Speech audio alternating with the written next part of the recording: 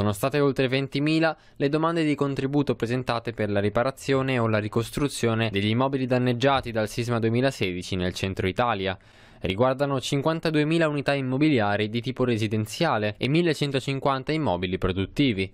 L'importo richiesto dai cittadini è di 5,4 miliardi. Le richieste approvate, oltre 10.000, sono cresciute molto velocemente nell'ultimo anno e in particolare nei primi sei mesi del 2021. In questo periodo sono state approvate 3.300 richieste di contributo e completati oltre 1.100 cantieri.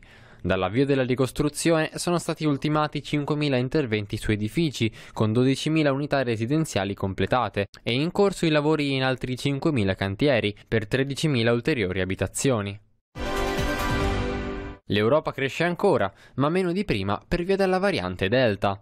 Ad agosto, infatti, l'indice PMI elaborato da IHS Market, che misura le aspettative delle imprese, è sceso da 60,2 punti, che rappresentavano il record degli ultimi 15 anni, a 59,5. È lo stesso livello di giugno, che realizzava comunque il secondo miglior risultato dal 2006.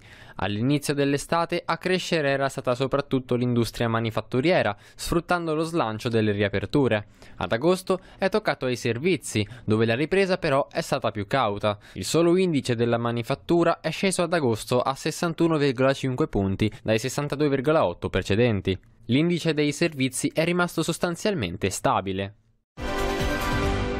Nel 2020 l'industria del turismo ha risentito in maniera profonda della pandemia. Il numero di notti trascorse negli esercizi ricettivi dell'Unione Europea è diminuito del 52% rispetto all'anno precedente, lo rivela Eurostat. Quasi assenti i flussi turistici in primavera, la distribuzione si è spostata verso i mesi estivi con l'allentamento delle restrizioni. Luglio e agosto hanno rappresentato il 42% di tutte le notti trascorse in strutture ricettive nel 2020, in netto aumento rispetto al 32% dell'anno precedente.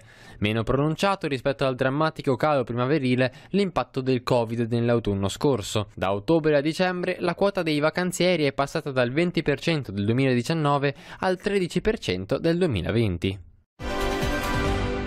In Italia le aziende che hanno voglia di innovare hanno un'ottima opportunità attraverso il credito d'imposta. Esiste quello Transizione 4.0 che concede loro il 50% di quanto speso per acquisto di macchinari nuovi ed impianti nuovi, ma non solo, se trattasi di macchinari normali o impianti normali c'è il 10%. In aggiunta le aziende del sud possono usufruire del credito d'imposta sud Sud 45%, quindi è un'ottima opportunità per le aziende di tutto il territorio nazionale, ma in modo particolare per le aziende del Sud.